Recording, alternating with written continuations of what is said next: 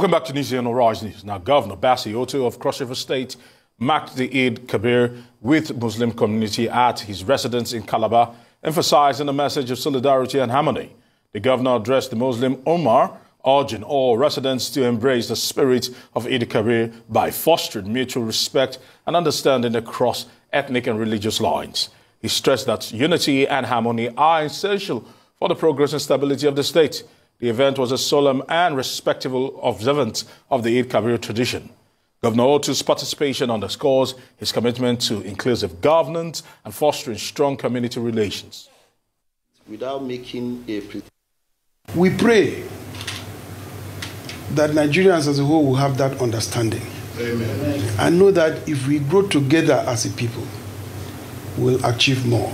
Amen.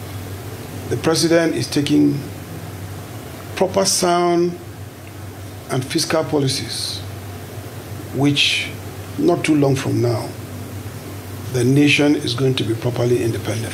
We are going to see a greater Nigeria. Let us continue to live in peace with one another.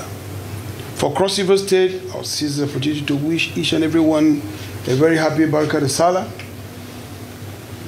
And I want to say that we are in the process of building a sub-national economy that will be strong enough to feed our nation.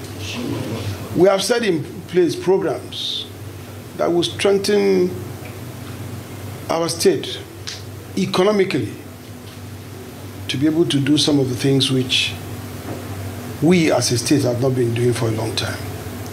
We are pleading also for patience that let peace reign.